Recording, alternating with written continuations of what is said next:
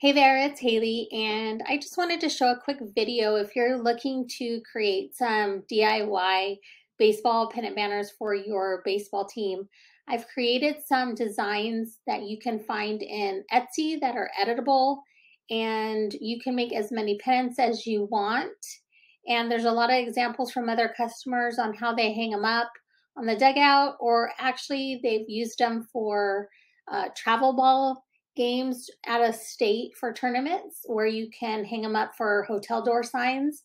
And then also you can use them at the end of the season as a baseball party favor gift to give to all the individual players at the end of the season as a memento or a keepsake for them. So let's just go into Canvas so I can show you how to easily edit these uh, pennant banners that I have in my Etsy shop. So First of all, I'm going to duplicate this page. That way I have the original one to go back to if I want. And let's start here. So you're going to click on any box, highlight, and then let's put in our Little League name or whatever. You can put a division here. 2023, I'm going to leave that. I'm going to click highlight my team name. I'm going to put my my city. You're going to put any team well, you're going to put your team name for your your season. I'm going to leave name and number alone right now. And then I also have a couple pages up here where I have stars and bats and ele different elements. I also have text that's a baseball text and then athletic text, whatever you choose that you want. If I want to use this one instead, I'll just go in and hit copy.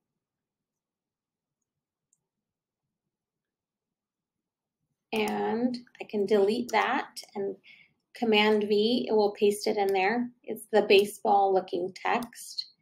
We'll put it here. If you like that better, then, then use that one. It's up to you. So we're going to leave that. And then I'm also going to add some stars.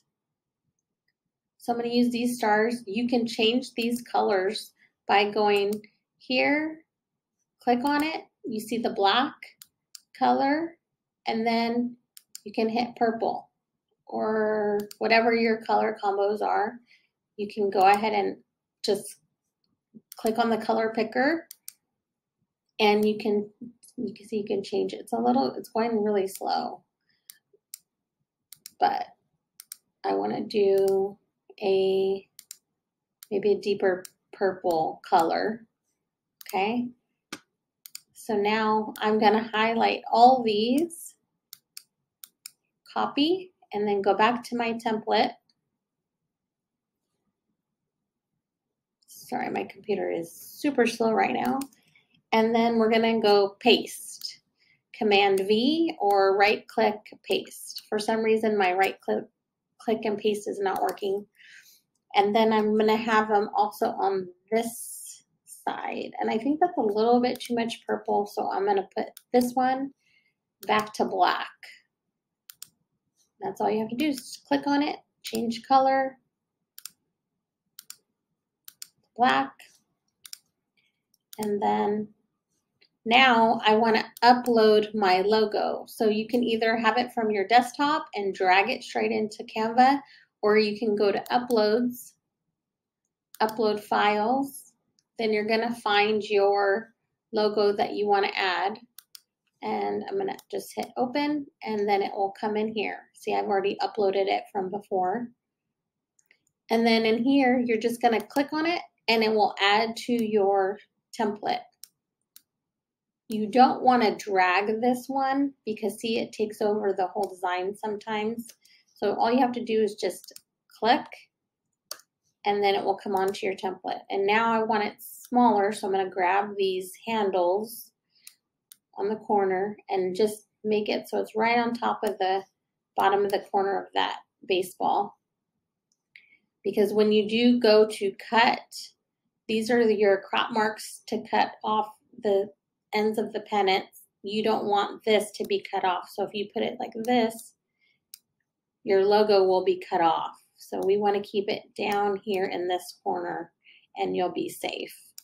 So now that I have the pennant basically the way I want, what I'm going to do is if I have seven players or 10 players on the team, can't have seven, you don't have enough for a team with seven players. But if you're going to have 10 to 14 players, all I'm going to do is hit duplicate page and it's going to make a copy of my template exactly the way I want it. And now all I have to do is go in here and edit your name and the number. So there's a grid view and we can click on the grid view and it will show it right here. You can also go in here and hit copy paste and same thing, you're going to get a copy of the pennants the way you want. So I have three right now. I want to add some more. So I'm going to go copy paste, paste, paste until I have all the pennants that I want. 1, 2, 3, 4, 5, 6, 7, 8, 9, 10, 11, 12, 13. Okay, we got 13 pennants on here, and all we're going to have to do is go in and edit the name and the number. I'm going to edit name and the number. And then go to the next one, and you're going to just edit the name and the number. And I do want to also show you how you can change the colors of this. So the main color is you're going to go to your text color right here, and then that's going to be the outline. And then effects is what the color is inside. And I really like the way that looks. Kind of pops more than this one.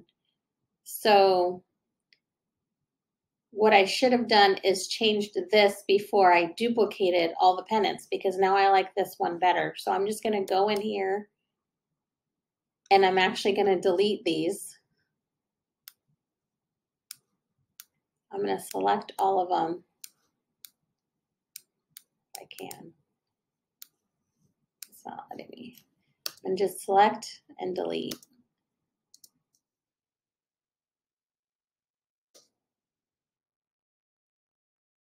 So I'm going to go back into this, this original one. And I can show you again.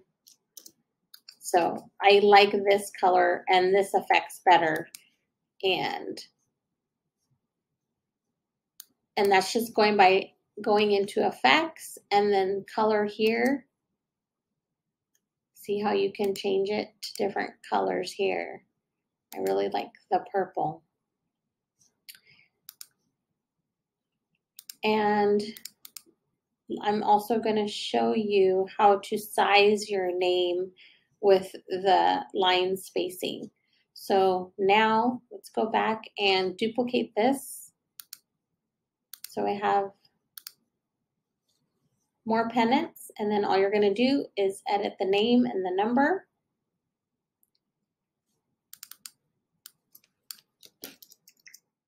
King. I'm going to put number one. So here I can go to spacing and I could space it a little bit more. If you don't want it curved, then you're going to go into effects and the shape right here, there's none or there's curve. And then you can slide this scale so it's a little bit curved, it's really curved. It's up to you how you want to do that. And then if you want to make it bigger, you grab the corners to make it bigger and smaller. And let's see, let's try, let's do a long name. Okay, that still fits pretty good. And I like using last names, but it's up to you. First and last names get a little bit too crowded, so I would do either or. And let's see, so spacing, see, you can do a little bit. You can also change the font. If you don't want this font, you want a different font, you come up to here, and there's a lot of different fonts you can choose from. That one's pretty cool. That's like a bolder font. So like I said, make sure your first pennant is exactly the way you want it. Play around with it first and get it exactly the way you want. And then you're going to duplicate them all. And then that way, all you have to do is go in and just edit the player name and the number. And put this back. I hit undo and it goes back to the way I had it. Now it's not letting me do the number. So I'm going to put the number back. And then to download your pages, what you're going to do is go to Share, Download, PDF, Print for printing. You can select all pages to print or you can pick the pages. I want to pick the pages, so I'm going to deselect all of them and then I'm going to pick the pages that I want. Starting with page four is where I started editing them. And then you're going to hit done, download, and then it's going to download in your downloads folder, and then all you have to do is print. What else did I want to show you? I think that is it. If you have any questions, feel free to convo me through Etsy. If you don't see a certain color that you need for your team, I can get colors up super fast uh, within 48 hours. So just let me know and hopefully you like your, the video and I will be sharing some more soon. Thanks so much for watching. Bye.